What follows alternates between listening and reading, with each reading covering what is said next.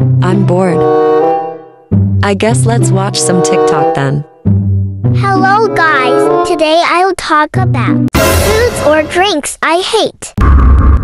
Oh, I haven't seen these types of posts for a while. But I guess let's check it out. So first up is a popular food, spaghetti. And I could say they're very disgusting because it included so much tomatoes. Well, spaghetti's one of my favorite, but I guess it's okay to call it disgusting cause those type of accounts usually call everything bad as a satire. Number two, ice cream. They're bad because it's milky, and you're just disgusting just like them for liking it. Well, ice cream's one of my favorite desserts too, but it may be kinda harsh of saying people who likes it disgusting, but let's just move on I guess. Number three, milk. It makes me vomit,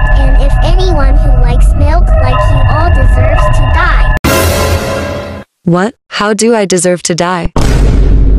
I'll give you one more chance. Number four, potato. First, they're very ugly and